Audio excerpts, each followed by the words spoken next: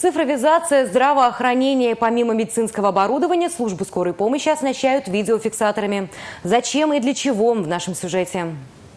Все телефонные звонки, которые поступают от жителей Чувашии в скорую помощь, попадают в единый республиканский диспетчерский центр медицины катастроф. Здесь идет беспрерывное наблюдение за работой бригад и за их перемещением. Здесь можно увидеть непосредственно каждое передвижение бригад. То есть в данный момент где она находится, что она делает и так далее. То есть стоит ли она, либо остановка у нее. С недавнего времени 16 выездных бригад столицы стали использовать видеофиксаторы. Применять их можно как с разрешения пациентов, так и в целях безопасности. Было много случаев, то есть непосредственно нападение на бригад и так далее.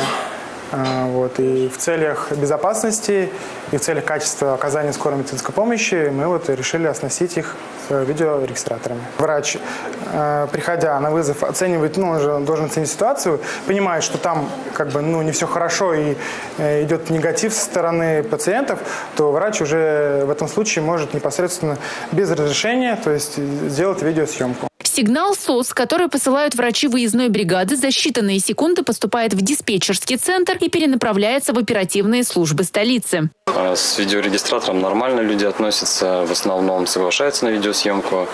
А работать стало спокойнее, то, что мы все-таки можем фиксировать э, все случаи. В последнее время нападений стало много, и также можем контролировать э, работу наших сотрудников. На качество работы выездных бригад повлияло и приобретение современных машин скорой помощи. В 2018 году за счет республиканского бюджета было закуплено 78 новых автомобилей и 7 реанимобилей. 19 машин поступили по распоряжению правительства страны. В машинах имеется современное медицинское оборудование. Это э, дистанционные электрокардиографы, имеется современная дыхательная аппаратура, э, реанимационное оборудование, по сути, машины скорой помощи э, сегодня являются мини-госпиталем. Таких мини-госпиталей в 2019 году станет на 50 больше. Средства выделят из республиканского бюджета. Видеофиксаторами должны оснастить все 100 бригад скорой медицинской помощи.